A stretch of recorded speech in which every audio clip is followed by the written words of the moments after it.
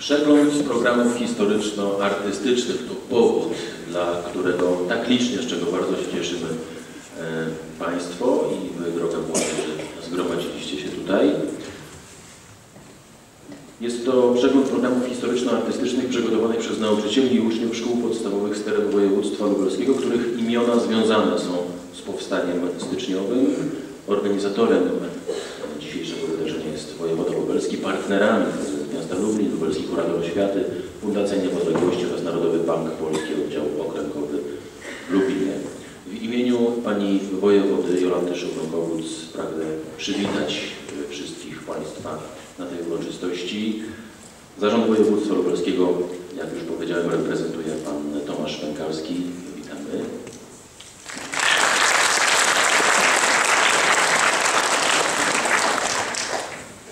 Witam w imieniu pani wojewody panią Ilonę Skibińską-Pawłowską, dyrektora Narodowego Banku Polskiego Oddziału Krajowego.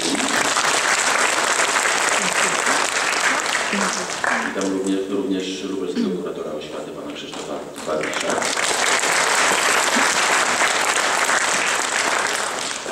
Witam przedstawicieli Fundacji Niepodległości, panów wiceprezesów, pana Przemysława Jaśkiewicza, pana Gawryszczaka, prezydenta miasta Lublin reprezentuje dzisiaj pan Zdzisław Niedbawa.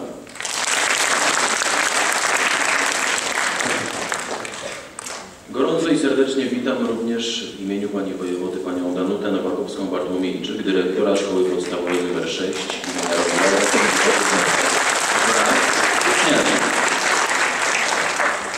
Panią Mary, Marię Baryła, dyrektora Szkoły Podstawowej w Nadrybiu, Szkoły Podstawowej imienia Jana Panią Danutę Bukryj-Pałkę, dyrektora Szkoły Podstawowej nr 1 imienia Bohaterów Powstania Styczniowego w Radzeniu Podlaskim. Również jest wśród nas także pani Małgorzata Kaczmarczyk, dyrektor Szkoły Podstawowej nr 1 imienia księdza Stanisława Brzuski w Białymstoku.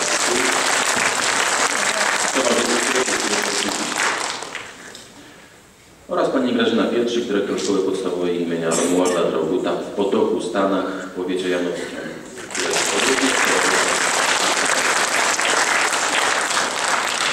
Wszystkich w imieniu Pani Wojewody witam i przypomnę, że to już druga odsłona obchodów 150. rocznicy Powstania Styczniowego w Lubelskim Urzędzie Wojewódzkim. Nie tak dawno, bo dwa tygodnie temu, również w tej sali gimnazjaliści e, uczestniczyli w quizie historycznym poświęconym właśnie powstaniu, a po nich w debacie wymieniali się wiedzą licealiści. Dziś przyszedł czas na uczniów szkół podstawowych, których zobaczymy w programach przygotowanych właśnie z okazji rocznicy, 150. rocznicy Powstania Styczniowego, ale zanim to nastąpi, zanim rozpoczną się te e, dzisiejsze obchody, bardzo proszę o zabranie głosu gospodarza dzisiejszego wydarzenia, panią wojewodę Jolantę Szołnokowicz.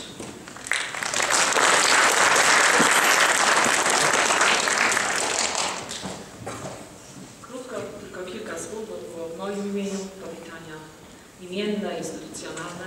Ja chciałabym e, powiedzieć słowa Dzień dobry wszystkim, przede wszystkim e, dzieciom, jako dzisiejszego, dzisiejszego dnia.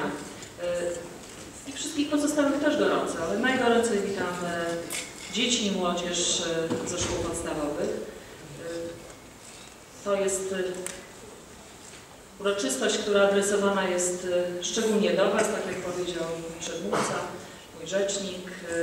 Pozwoliliśmy sobie podzielić na swoiste trzy tury, adresując do trzech typów szkół, a to dlatego, żeby każdy czuł się też i komfortowo, i czuł się pewnie przy tych formach wyrażania swoich, y, swojej, y, przekazywania swojej wiedzy, wyrażania swoich emocji, y, adresowania do, do tych, a nie innych e, środowisk, dzisiaj podstawowych szkół, wcześniej gimnazjalnych i, e, i licealnych. Na korytarzu zapytali mnie dziennikarze, czy rzeczywiście wiedza uczniów szkół podstawowych na temat powstania styczniowego jest e, bogata, wystarczająca. No z pewnością nie jest tak bogata jak e, biorących udział w debacie licealistów, którzy notabene jeszcze dodatkowo interesują się historią, drążą, znają e, wszelkie fakty i to takie, że myśmy siedząc tutaj na, na widowni, to się nawet sami zastanawiali, czy, czy potrafilibyśmy w ten sposób tę debatę, tej debacie uczestniczyć i tak na wysokim poziomie rzeczywiście wymieniać się poglądami na temat za i przeciw powstania styczniowego.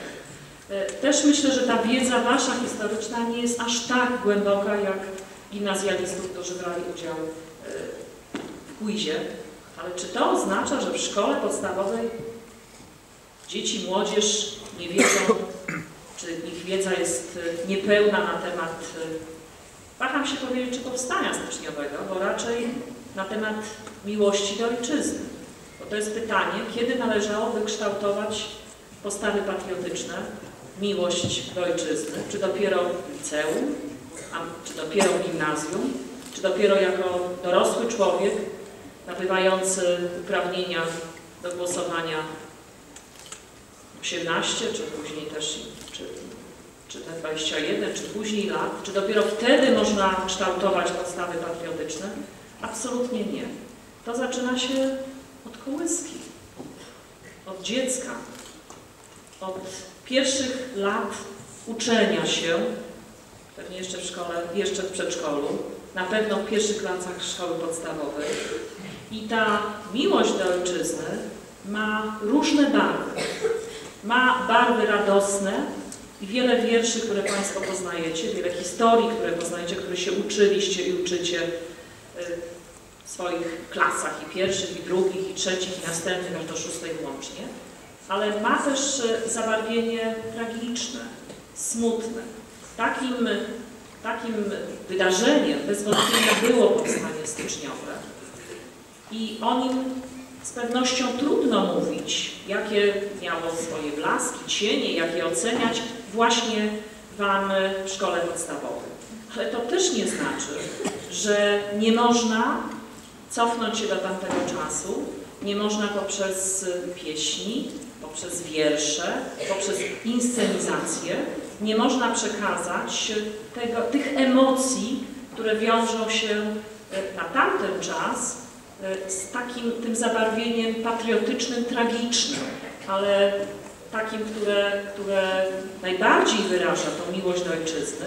Ale ja zawsze mówię, że oby się nie sprawdzać w takich wydarzeniach, bo z pewnością nie mamy wątpliwości, że Romuald Kragut czy ksiądz Brzuska to byli patrioci. Poświęcili życie dla swojej ojczyzny. I nawet ta ojczyzna, no, trudno było powiedzieć, jaka ona była, dla nich też nie była łatwa. Sprawdzili się. Czy dzisiaj chcielibyśmy takich postaw patriotycznych? Gdyby było zagrożenie, pewnie tak.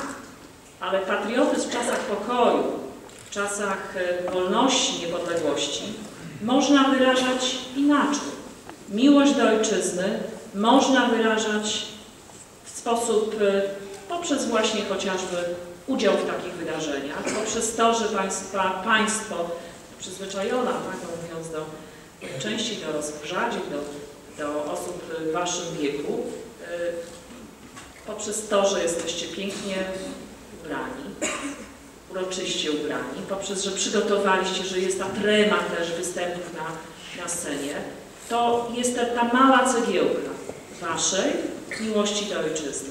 I teraz tą małą cegiełkę, tą małą iskierkę od was będzie zależeć, czy będziecie pielęgnować, czy będziecie ją podsysać tak, żeby ona cały czas w waszym sercu była, bez względu na to, gdzie będziecie później w życiu mieszkać. No jesteśmy w świecie globalnym, świecie, który y, da nam otwarte granice, bez względu na to, gdzie będziecie w świecie uczyć się, czy uczyć się w szkole średniej później, czy na studiach, czy zakładać później swoje, swoje y, miejsca, gdzie będziecie y, mieszkać, zakładać rodziny, to zawsze od dziś, od, nie od dzisiaj, tylko właśnie od tego wieku, w którym teraz jesteście, ta iskierka, żeby była pielęgnowana. Tej miłości do ojczyzny i to miłości do ojczyzny, która w czasach, kiedy jest y, wolna ojczyzna, niepodległa, jest radosną miłością. Taką miłością, które, którą poprzez całkowicie inny przekaz, odwagę, że jest się Polakiem w każdej chwili, w każdym, w każdym momencie, że, że należy swoją, swoją osobą prezentować. Natomiast wspominasz też o czasach tych, które były trudne, drążyć je, zastanawiać się, dlaczego one były trudne, dlaczego one są niejednoznacznie. Na to przyjdzie czas, to Wasze zainteresowanie, które, które y, od szkoły podstawowej, zainteresowanie historią, nie tylko tyle co na lekcjach, jest, to jest mało lekcji historii.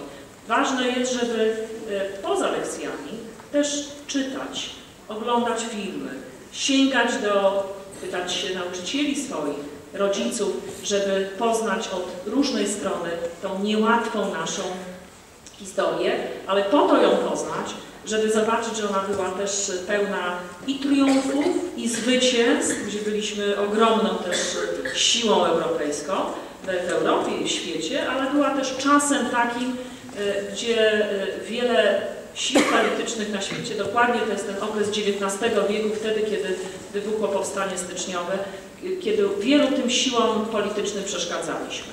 Zależało tym siłom politycznym, żeby Polski nawet pojęciu takim Królestwo Polskie, żeby, żeby nawet takiego pojęcia nie używać, żeby znikły, znikło z, ma, z mapy Polski, ale też żeby znikła w ogóle z wymiany takiej, żeby nikt nie mógł powiedzieć, że jestem Polakiem. Wtedy, kiedy ktoś powiedział, że jestem Polakiem, jestem patriotą, to kosztowało go to zsyłkę. Daleko, daleko do miejsca, gdzie pamiętacie, jak był mróz kilka dni temu, był około 20 stopni, a są miejsca takie daleko, daleko w Rosji, gdzie temperatura sięga 50, minus 50 stopni. Więc tam między innymi ta zsyłka na Sybir to wiązała się z tak daleko zimy i te, też tam bez, bez ogrzewania, bez takich warunków, jakie Państwo macie, dzieci i młodzież i dorośli mają, y, mają y, no, dzisiaj. Także dziękuję za udział, dziękuję y, opiekunom, dyrektorom szkół, nauczycielom za to, że Państwo przygotowujecie, że inspirujecie. Proszę nie, nie poprzestawać przy tej inspiracji i żeby ta iskierka tliła się aż do końca szkoły podstawowej, a później, żeby móc przekazać to kolejnym y, wychowawcom, nauczycielom, żeby dalej y, na poziomie gimnazjalnym, licealnym, żeby ta miłość do ojczyzny w tych właśnie młodych ludziach, których mamy na sali, żeby była podtrzymywana. I poprzez chwalenie się triumfami, ale też różnymi wydarzeniami takimi, które choć smutne, ale przekuły się w zwycięstwo. Zwycięstwo, jakim jest wolna i niepodległa Polska dzisiaj. Bardzo dziękuję.